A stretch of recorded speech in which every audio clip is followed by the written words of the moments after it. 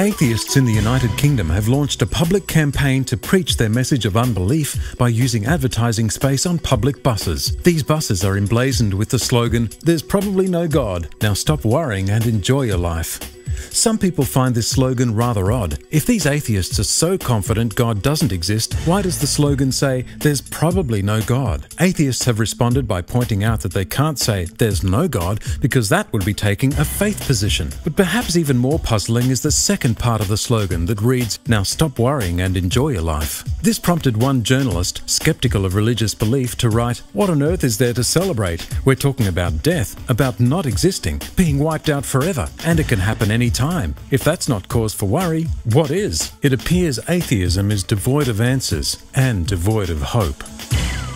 هل تثبت نظرية التطور أمام الفحص العلمي؟ وهل هي أفضل النظريات في مسألة الخلق؟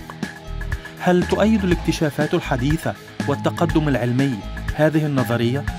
مجلة الخلق برنامج يأتيكم كل خميس على شاشة قناة الحياة في المواعيد التالية